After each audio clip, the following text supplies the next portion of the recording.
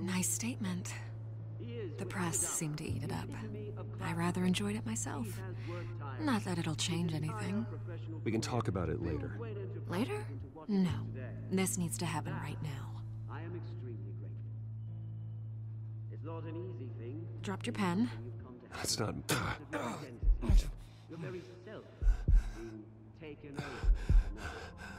I should know. You feel that? I'm sure some of you remember the That's the drug taking hold of you. Don't fight it it. stands dirty You. and forgotten. You're with the children of Arkham. Terrible things that have happened to No. I am the children of Arkham. I think it's time you knew my real name. I am. Lady Arkham. And you already know the penguin. Look at him up there, taking everything that should belong to you. Mocking you, smug, insignificant bastard. He thinks he can get away with it. Because none of them know who he really is.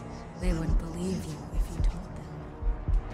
And if we can just get one more round of applause for my best friend, the man of the hour, ladies and gentlemen, Bruce Wayne.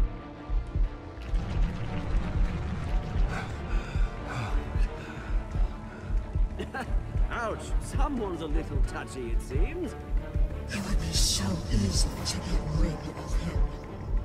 Who else will deliver justice